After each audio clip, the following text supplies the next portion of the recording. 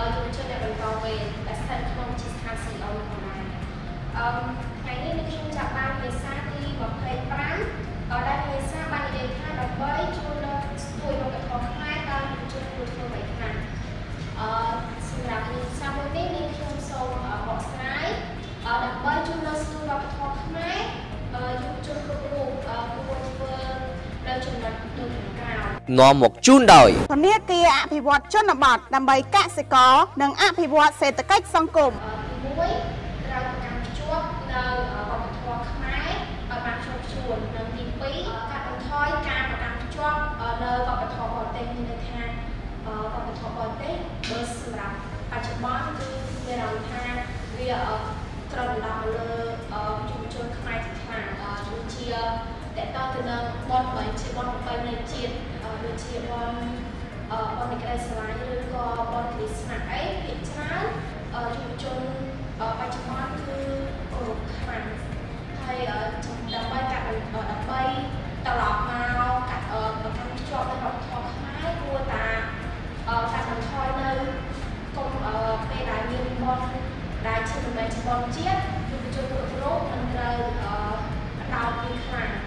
ហើយចំណុចដែលចំណុចទី1ហ្នឹងអឺត្រូវប្រកាន់ជាប់នៅវប្បធម៌ខ្មែរដូច ជាបនប្រពៃណីជាតិគឺត្រូវគោរពឲ្យបានខ្ជាប់ខ្ជួនហើយនៅអឺ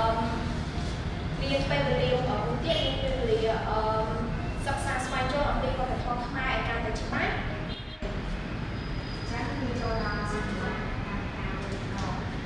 អឺហើយមកលើអង្គការអឺចូលបច្ចុប្បន្នគឺគាត់ត្រូវបន្តពីឆ្នាំទៅដល់វប្បធម៌បរទេសចឹងតែថាវប្បធម៌បរទេសវាចាស់អតិពលអាក្រក់តែរកឬក៏ចំពោះវប្បធម៌បរទេសអត់ជាអតិពលអាក្រក់ទេបងតែអឺវាធ្វើឲ្យយើងអឺបាត់បង់ក៏ ដូចជាផ្លេចអំពីវប្បធម៌បីនៃជាតិឯណាមួយពេលដែលមានមន្តជាតិរំដងអឺយុវជនខ្មែរច្រើនគឺគាត់អឺអត់សូវលក្ខណៈដូចកក្រៅដូចជាវប្បធម៌ប្រទេសអញ្ចឹងវាអាចធ្វើឲ្យវប្បធម៌អឺខ្មែររបស់យើងកាន់តែសាបសាបនីដល់ខេអញ្ចឹងខ្ញុំមានអង្គជំនួយជនអ្នកតើបងអូនចូលជួយអភិរក្សជួយស្គាល់វប្បធម៌ខ្មែរតាមរបៀបណាអឺស្គាល់ស្គាល់នេះអឺក្នុងនាមបងអូនជាយុវជនខ្មែរមួយលោកអឺតកតទៅនឹងការដើម្បីឲ្យវប្បធម៌ខ្មែរមានភាពស្ថិតស្ថេរហើយនឹងអឺមិនមិនសាបលាបអឺគឺគោរពគោរពនៅវប្បធម៌ខ្មែរដូចជាមានបនប្រពៃណីជាតិគឺត្រូវចូលរួមគ្រប់ទាំងអស់គ្នាហើយមួយវិញទៀតអឺតកតទៅនឹងដូចជាពិធីបន់ឬក៏ពិធីការគឺអឺមិនត្រូវ កាត់បន្ថយពេលវេលាអត់ដូចជាអឺពីពីបុរាណគឺការគិតរយៈពេលអឺ3ទៅ3ថ្ងៃតែបច្ចុប្បន្នគឺមកបញ្ចុះមកថ្ងៃវិញមានន័យថាវប្បធម៌របស់ខ្មែរយើងគឺចាំតាអឺរៀនសាស្ត្ររៀនដោយសារតែប្រជាជនខ្មែររបស់យើងគាត់អត់សូវគិតពីចំណុចនេះ